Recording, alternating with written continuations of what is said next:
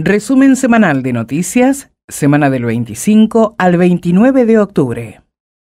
Lunes 25. Santa Cruz suma infraestructura para seguir potenciando el turismo.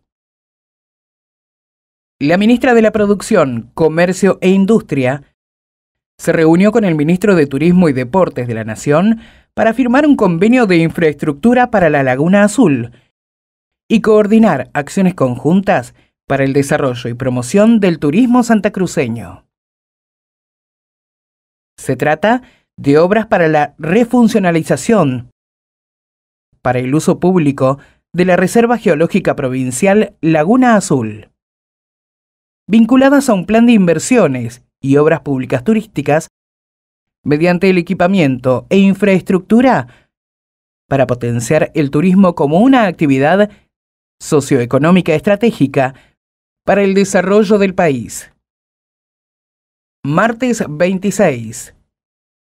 Las jornadas intensivas de vacunación logran un efecto importante en el manejo de la pandemia. Durante el fin de semana, el equipo de salud efectuó una estrategia de abordaje territorial y atención primaria en la cuenca carbonífera donde junto a distintos organismos del Estado provincial y puntualmente en la localidad de Río Turbio, junto con el municipio, realizaron la búsqueda puerta a puerta de personas que no han recibido la vacuna contra el COVID-19 para facilitar el acceso al proceso de vacunación para quienes no tienen la posibilidad de acercarse a los centros de vacunación habituales.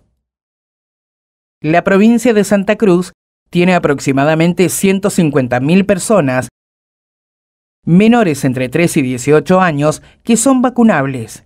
Por esa razón, estas jornadas intensivas de vacunación que se realizan en distintas localidades son muy importantes porque logran un efecto muy importante en cuanto al manejo de la pandemia y el cuidado de la salud de nuestra comunidad. Miércoles 27. El programa Más Precios Cuidados llega a Santa Cruz con 1.068 productos. El gobierno de Santa Cruz, a través de la Secretaría de Comercio e Industria, participó de una reunión del Consejo Federal de Comercio Interior, que tuvo como objetivo coordinar acciones que permitan garantizar el cumplimiento de la nueva canasta ampliada por nación, con precios retrotraídos al 1 de octubre y fijados por 90 días. El programa de Nación llegará con 1.068 productos y los comercios deberán informar en carácter de declaración jurada cuáles de estos productos comercializan en sus negocios, medida que se toma en el marco de la Ley 20.680, Ley de Abastecimiento, y se delegará en las provincias las facultades pertinentes para operativizar la misma. Jueves 28. El lunes 1 de noviembre se acreditarán haberes al personal del Estado provincial. El gobierno de Santa Cruz informa que este lunes 1 de noviembre se acreditarán en las cuentas sueldo los haberes correspondientes al mes de octubre para trabajadores y trabajadoras de la totalidad de los organismos provinciales, el Poder Legislativo y el Poder Judicial.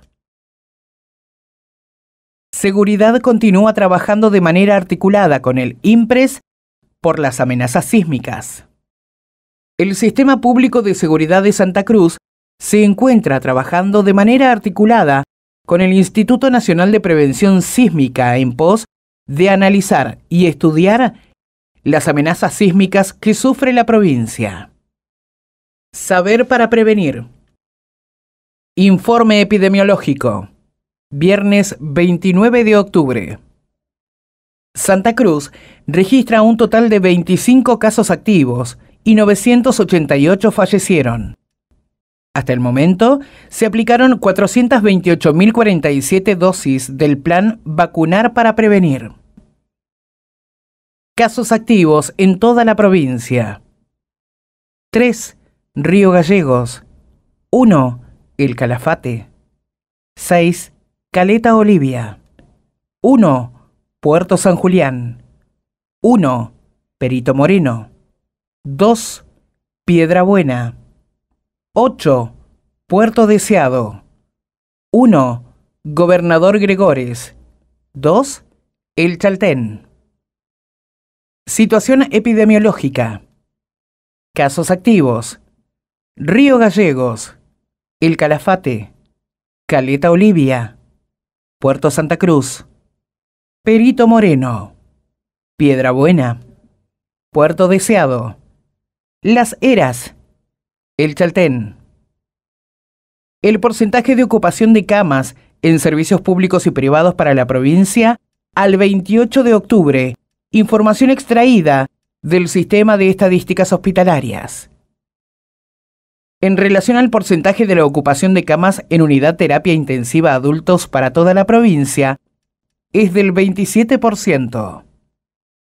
La edad media de casos COVID es de 37 años. Fallecidos. El promedio de edad es 68 años en base a registros CISA.